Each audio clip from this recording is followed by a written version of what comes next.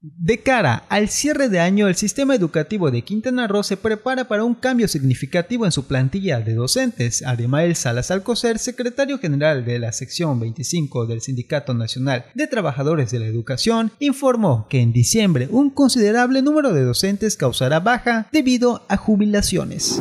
En este ciclo escolar apenas son unos 30-40 entre todos los niveles. ¿Por qué? Porque el el grueso de los maestros que van a entrar van a ser en enero, derivado de que las jubilaciones octubre, que entra la pre, octubre, noviembre, diciembre, ya causan baja en diciembre y se liberan todas las plazas de los que se van a jubilar y en enero, en enero sí entra un grueso de maestros, esperamos a lo mejor de 130, 140 docentes entre todos los niveles educativos.